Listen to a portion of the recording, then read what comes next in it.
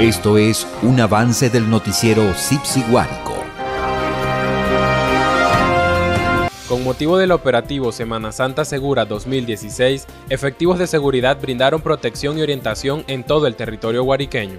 Eso es parte del dispositivo, esto es la presencia de la policía en la calle, que demuestra que nosotros tenemos toda la intención de brindarle seguridad a todas las guariqueñas y a todos los guariqueños de nuestro estado. Es una orden de nuestro gobernador, es una orden de nuestro, ministro de Interior y Justicia y estamos cumpliendo cabalidad las instrucciones. Además, fueron habilitados más de 10 autobuses de la planta Bus Guárico para garantizar el transporte de los temporadistas, quienes aseguraron que recibieron un buen servicio. Me parece bueno porque en este, en este tiempo es donde más abundan los pasajeros y bueno, con respecto al calor y la broma me parece muy bien porque nos brindan lo que es el aire acondicionado, eh, hay más, más espacio para que entren mucho más personas para viajar.